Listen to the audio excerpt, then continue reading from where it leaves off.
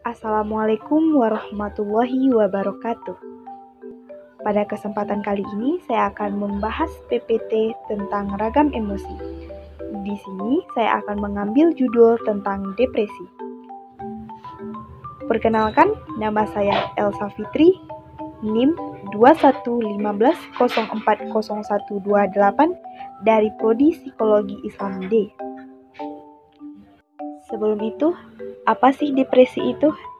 Depresi adalah suatu keadaan yang sangat sulit bagi seseorang hingga melibatkan beberapa unsur perasaan, mengalami kondisi yang sangat buruk.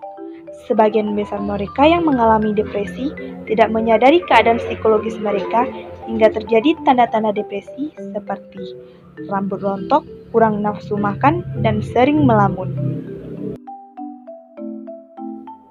Depresi dibagi menjadi dua, yaitu satu Depresi ringan, dua Depresi berat.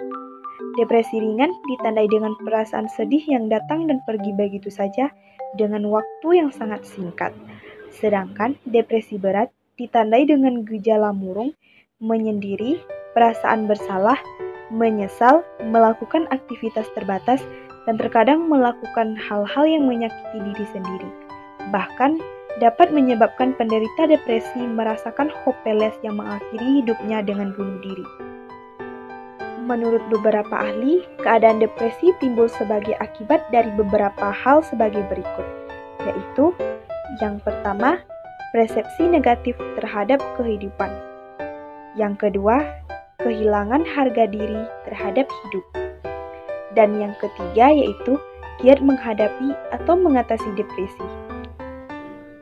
Gejala-gejala depresi ditandai sebagai berikut. Yang pertama, merasa sedih yang berkepanjangan, cemas yang berlebihan, dan suasana hati yang kosong. Yang kedua, keputusan terhadap hidup dan pesimis terhadap masa depan. Yang ketiga, perasaan bersalah yang tidak pada tempatnya dan tidak berdaya untuk keluar dari rasa bersalah tersebut. Yang keempat, kehilangan minat. Yang kelima, stamina menjadi hancur dan begitu mudah mengalami kelelahan fisik.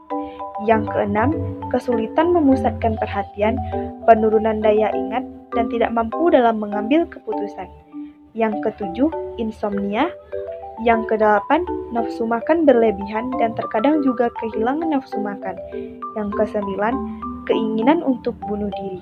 Yang kesepuluh yaitu emosi. Hal-hal yang memicu timbulnya depresi di kehidupan sehari-hari yaitu tuntutan kehidupan, masalah keluarga, pelecehan seksual, keuangan, cara berpikir, dan penyimpangan sosial. Ada empat cara mengatasi depresi, yaitu yang pertama, bercerita kepada teman, yang kedua, belajar menerima, yang ketiga, sibukkan diri, dan yang keempat, berdoa. Sekian presentasi dari saya.